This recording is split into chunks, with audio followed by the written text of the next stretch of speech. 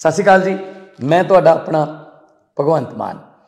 ਸਭ ਤੋਂ ਪਹਿਲਾਂ ਜਲੰਧਰ ਦੇ ਲੋਕਾਂ ਦਾ ਬਹੁਤ-ਬਹੁਤ ਧੰਨਵਾਦ ਕਿ ਉਹਨਾਂ ਨੇ ਪੰਜਾਬ ਸਰਕਾਰ ਦੇ ਪਿਛਲੇ 1 ਸਾਲ ਦੇ ਲੋਕ ਪੱਖੀ ਕੰਮਾਂ ਤੇ ਹਾਂ ਪੱਖੀ ਮੋਹਰ ਲਾ ਕੇ ਸਾਡਾ ਹੌਸਲਾ ਵਧਾਇਆ। ਇੱਕ ਵਾਰ ਫੇਰ ਤਹਿ ਦਿਲੋਂ ਧੰਨਵਾਦ। ਅੱਜ ਦੇ ਇਸ ਵੀਡੀਓ ਦਾ ਮਕਸਦ ਝੋਨੇ ਦੀ ਲਵਾਈ, ਝੋਨੇ ਦਾ ਸੀਜ਼ਨ। ਪਿਛਲੇ ਸਾਲ ਅਸੀਂ ਇੱਕ ਤਜਰਬਾ ਕੀਤਾ ਸੀ ਕਿ ਇੱਕਦਮ ਝੋਨਾ ਲਾਉਣ ਦੀ ਬਜਾਏ ਪੰਜਾਬ ਨੂੰ ਦੋ ਤਿੰਨ ਭਾਗਾਂ 'ਚ ਵੰਡਿਆ ਸੀ। ਬੜਾ ਸਫਲ ਰਿਹਾ ਸੀ ਉਹ ਤਜਰਬਾ। ਸੋ ਇਸ ਵਾਰ ਵੀ ਅਸੀਂ ਪੰਜਾਬ ਨੂੰ ਚਾਰ ਭਾਗਾਂ ਦੇ ਵਿੱਚ ਵੰਡ ਰਹੇ ਹਾਂ ਤੇ ਝੋਨੇ ਦੀ ਲਵਾਈ ਜਿਹੜੀ ਹੈ, ਝੋਨੇ ਦਾ ਸੀਜ਼ਨ ਜਿਹੜਾ ਹੈ, ਉਹਦੀਆਂ ਡੇਟਾਂ ਜਿਹੜੀਆਂ ਨੇ, ਉਹਦੀਆਂ ਤਰੀਕਾਂ ਜਿਹੜੀਆਂ ਨੇ, ਉਹ ਮੈਂ ਅਨਾਉਂਸ ਕਰਨ ਲੱਗਿਆ ਕਿ ਇਹਨਾਂ ਇਹਨਾਂ ਜ਼ਿਲ੍ਹਿਆਂ 'ਚ ਇੰਨੀ ਇੰਨੀ ਤਰੀਕ ਤੱਕ ਝੋਨਾ ਲੱਗੂਗਾ, ਉਸ ਹਿਸਾਬ ਨਾਲ ਤੁਹਾਨੂੰ ਬਿਜਲੀ ਵੀ ਜਿਹੜੀ ਹੈ ਪੂਰੀ ਦਿੱਤੀ ਜਾਊਗੀ।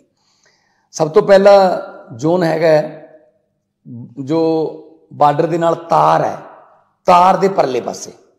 ਜੋ ਤਾਰ ਦੇ ਪਰਲੇ ਪਾਸੇ, ਤਾਰ ਦੇ ਪਾਰ ਜਿਹੜੇ ਖੇਤ ਨੇ, ਉਹ 10 ਜੂਨ ਤੋਂ ਝੋਨੇ ਦੀ ਬਿਜਾਈ ਕਰ ਸਕਦੇ ਨੇ।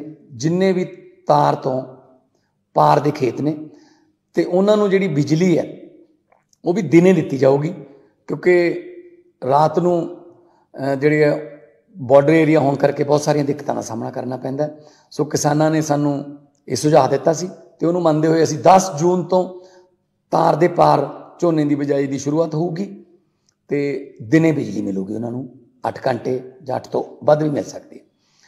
ਫਿਰ ਹੈਗਾ ਜੀ 16 ਜੂਨ ਨੂੰ 16 ਜੂਨ ਨੂੰ ਜਿਹੜੇ 7 ਜ਼ਿਲ੍ਹੇ ਅਸੀਂ ਚੁਣੇ ਨੇ 16 ਜੂਨ ਤੋਂ ਲੈ ਕੇ 16 17 18 ਮਤਲਬ ਉਹ ਝੋਨਾ ਲਾਉਣਗੇ। ਉਹ ਜ਼ਿਲ੍ਹੇ ਨੇ ਫਿਰੋਜ਼ਪੁਰ, ਫਰੀਦਕੋਟ, ਪਠਾਨਕੋਟ, ਸ਼੍ਰੀ ਫਤਿਹਗੜ੍ਹ ਸਾਹਿਬ, ਗੁਰਦਾਸਪੁਰ, ਸ਼ਹੀਦ ਭਗਤ ਸਿੰਘ ਨਗਰ, ਤਰਨਤਾਰਨ। ਇਹ ਸੱਤ ਜ਼ਿਲ੍ਹੇ 16 ਜੂਨ ਤੋਂ ਝੋਨੇ ਦੀ ਜਿਹੜੀ ਬਿਜਾਈ ਕਰਨਗੇ। ਇਹਨਾਂ ਨੂੰ 16 ਜੂਨ ਤੋਂ ਜਿਹੜੀ ਹੈ ਬਿਜਲੀ ਜਿਹੜੀ ਹੈ, ਉਹ ਉਸ ਹਿਸਾਬ ਨਾਲ 8 ਘੰਟੇ ਤੇ 8 ਘੰਟੇ ਤੋਂ ਉੱਪਰ ਵੀ ਮਿਲੂਗੀ। ਨਾਲ ਨਹਿਰੀ ਪਾਣੀ ਵੀ ਨਾਲ ਨਾਲ ਹੋਊਗਾ, ਜਿੱਥੇ ਜਿੱਥੇ ਵੀ ਨਹਿਰੀ ਪਾਣੀ ਦੀ ਸੁਵਿਧਾ ਹੈਗੀ। 19 ਜੂਨ ਨੂੰ ਤੀਜਾ ਭਾਗ ਹੈ, ਜਿਹਦੇ ਵਿੱਚ ਰੂਪਨਗਰ, ਰੋਪੜ, ਸਹਿਬਜ਼ਾਦਾ ਅਜੀਤ ਸਿੰਘ ਨਗਰ, ਮੋਹਾਲੀ, ਕਪੂਰਥਲਾ, ਲੁਧਿਆਣਾ, ਫਾਜ਼ਿਲਕਾ, ਬਠਿੰਡਾ ਤੇ ਅੰਮ੍ਰਿਤਸਰ। ਇਹ ਸੱਤ ਜ਼ਿਲ੍ਹੇ ਜਿਹੜੇ ਨੇ, ਉਹ 19 ਜੂਨ ਤੋਂ ਝੋਨੇ ਦੀ ਬਿਜਾਈ ਕਰਨਗੇ। ਤੇ 21 ਜੂਨ ਤੋਂ ਜਿਹੜੇ 9 ਜ਼ਿਲ੍ਹੇ ਨੇ, ਉਹਨਾਂ ਦੇ ਵਿੱਚ ਪਟਿਆਲਾ, ਜਲੰਧਰ, ਸ਼੍ਰੀ ਮੁਕਤਸਰ ਸਾਹਿਬ, ਹੁਸ਼ਿਆਰਪੁਰ, ਸੰਗਰੂਰ ਮਲੇਰਕੋਲਾ ਬਰਨਾਲਾ, ਮਾਨਸਾ। ਇਹ 9 ਜ਼ਿਲ੍ਹੇ ਜਿਹੜੇ ਨੇ, ਉਹ 21 ਜੂਨ ਤੋਂ ਝੋਨੇ ਦੀ ਬਿਜਾਈ ਕਰਨਗੇ। ਉਸ ਹਿਸਾਬ ਨਾਲ ਇਹਨਾਂ ਨੂੰ ਬਿਜਲੀ ਜਿਹੜੀ ਹੈ, ਉਹ ਲਗਾਤਾਰ ਮਿਲੂਗੀ। ਕੋਈ ਬਿਜਲੀ ਦੀ ਘਾਟ ਨਹੀਂ ਰਹੂਗੀ। ਮੈਂ ਕਈ ਜਗ੍ਹਾ ਤੇ ਬੋਲਦੇ ਹੋਏ ਕਿਹਾ ਕਿ ਇਸ ਵਾਰ, ਪਿਛਲੀ ਵਾਰ ਵੀ ਹੋਇਆ, ਇਸ ਵਾਰ ਵੀ ਹੋਊਗਾ ਕਿ ਮੋਟਰਾਂ ਬੰਦ ਕਰਕੇ ਜਿਹੜਾ ਉਹ ਝੋਨਾ ਲਾਉਣਗੇ ਲੋਕ। ਕਿਉਂਕਿ ਬਿਜਲੀ ਦੀ ਸਾਡੇ ਕੋਲ ਕੋਈ ਕਮੀ ਨਹੀਂ, ਸਾਡੇ ਕੋਲੇ ਡੇਢ ਮਹੀਨੇ ਦਾ ਕੋਲਾ ਪਿਆ ਔਰ ਇੱਕ ਜਿਹੜੀ ਮੈਂ ਬੇਨਤੀ ਕਰਨੀ ਹੈ, ਉਹ ਇਹ ਹੈ ਕਿ ਜਿਹੜੀ ਪੂਸਾ 144 ਹੈ, ਉਹ ਤੋਂ ਜਿੰਨਾ ਹੋ ਸਕੇ ਗੁਰੇਜ ਕੀਤਾ ਜਾਵੇ ਉਹਨੂੰ ਬੀਜਣ ਤੋਂ। ਕਿਉਂਕਿ ਉਹ ਦਿਨ ਵੀ ਬਹੁਤ ਲੈਂਦੀ ਹੈ 150 ਦਿਨ ਤੋਂ ਉੱਪਰ ਪੱਕਣ ਨੂੰ ਲੈਂਦੀ ਹੈ, ਉਹਦੀ ਪਰਾਲੀ ਵੀ ਜ਼ਿਆਦਾ ਹੁੰਦੀ ਹੈ। ਦਿਨ ਜ਼ਿਆਦਾ ਲੈਂਦੀ ਹੈ ਤਾਂ ਮਤਲਬ ਪਾਣੀ ਵੀ ਜ਼ਿਆਦਾ ਕੱਢਣਾ ਪਊਗਾ, ਧਰਤੀ ਚੋਂ ਤਾਂ ਬਿਜਲੀ ਵੀ ਜ਼ਿਆਦਾ ਲੱਗੂਗੀ।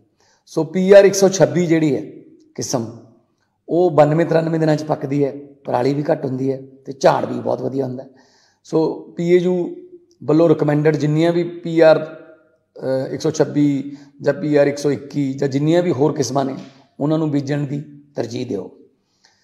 ਇੱਕ ਮਹੱਤਵਪੂਰਨ ਫੈਸਲਾ ਹੋਰ ਹੈ, ਪਿਛਲੀ ਵਾਰ ਵੀ ਕੀਤਾ ਸੀ ਕਿ ਡੀਐਸਆਰ ਜਿਹੜੇ ਬਿਨਾਂ ਕੱਦੂ ਕੀਤਿਆਂ ਸਿੱਧੀ ਬਜਾਈ ਕਰਨਗੇ, ਉਹਨਾਂ ਨੂੰ 1500 ਰੁਪਈਆ ਪਰ ਏਕੜ ਦੇ ਹਿਸਾਬ ਨਾਲ ਜਿਹੜੀ ਹੈ ਸਨਮਾਨ ਰਾਸ਼ੀ ਕਹਿ ਲਓ, ਕਿਉਂਕਿ ਪਾਣੀ ਬਚਾਉਣਾ ਹੈ ਤਾਂ ਸਨਮਾਨ ਹੀ ਕਰਨਾ ਪੈਂਦਾ ਜਿਹਨੇ ਪਾਣੀ ਦਾ ਇੱਕ ਤੁਪਕਾ ਵੀ ਬਚਾਇਆ ਜਾਂ ਸਬਸਿਡੀ ਕਹਿ ਲਓ ਜੋ ਵੀ ਇਹਨੂੰ ਨਾਮ ਦਿਓਗੇ, ਤਾਂ ਜਿਹੜੇ ਡੀਐਸਆਰ ਰਹੀਂ ਬਿਜਾਈ ਕਰਨਗੇ ਸਿੱਧੀ ਬਿਜਾਈ ਕਰਨਗੇ ਪਾਣੀ ਕੱਦੂ ਤੋਂ ਬਿਨਾ, ਤਾਂ ਉਹਨਾਂ ਨੂੰ 1500 ਰੁਪਏ ਪਰ ਏਕੜ ਦੇ ਹਿਸਾਬ ਨਾਲ ਉਹਨਾਂ ਨੂੰ ਪੈਸੇ ਦਿੱਤੇ ਜਾਣਗੇ।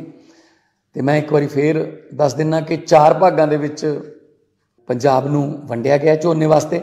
10 ਜੂਨ ਤੋਂ ਤਾਰ ਦੇ ਪਰਲੇ ਪਾਸੇ, ਜਿੰਨੇ ਵੀ ਬਾਰਡਰ ਦੇ ਤਾਰ ਜਿਹੜੀ ਹੈ ਉਹਦੇ ਪਰਲੇ ਪਾਸੇ ਖੇਤ ਨੇ, ਉਹ ਲਾਉਣਗੇ ਝੋਨਾ।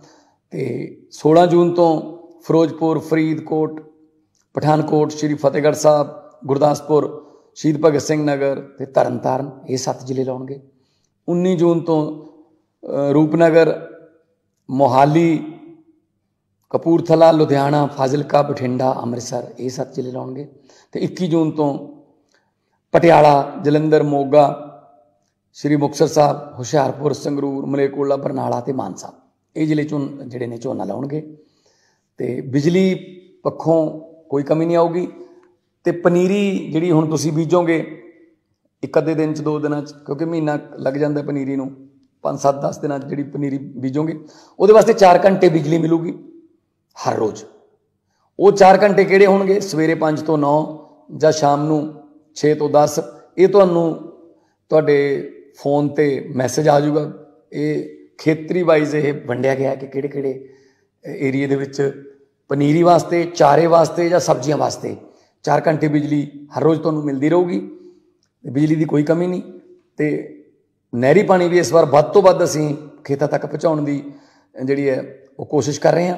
ਤੇ ਕੋਸ਼ਿਸ਼ ਤੁਸੀਂ ਵੀ ਕਰਿਓ ਕਿ ਜੇ ਨਹਿਰੀ ਪਾਣੀ ਹੈ, ਤਾਂ ਮੋਟਰ ਭਾਵੇਂ ਬੰਦ ਰੱਖਿਓ, ਟਿਊਬਵੈਲ ਬੰਦ ਰੱਖਿਓ, ਕਿਉਂਕਿ ਧਰਤੀ ਵਿਚਲਾ ਪਾਣੀ ਜਿਹੜਾ ਆਪਾਂ ਬਚਾਉਣਾ ਹੈ। ਇੱਕ ਬਹੁਤ ਵੱਡੇ ਪੁੰਨ ਦਾ ਕੰਮ ਹੈ। ਬਹੁਤ ਬਹੁਤ ਧੰਨਵਾਦ। ਸਤਿ ਸ਼੍ਰੀ ਅਕਾਲ।